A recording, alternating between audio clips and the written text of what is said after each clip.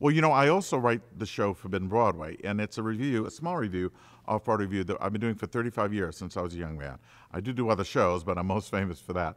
And that's a big spoof of all the Broadway musicals, from uh, you know Phantom of the Opera to Annie to Fiddler on the Roof to uh, all the Sondheim shows to even the classics like the Rodgers Hammerstein shows like Oklahoma or The King and I.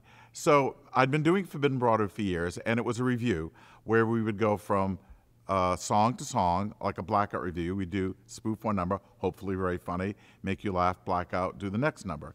So when Hamilton came along, though, I thought, well, how am I going to do this? Because it's a very interesting story, and it's certainly got a dense book.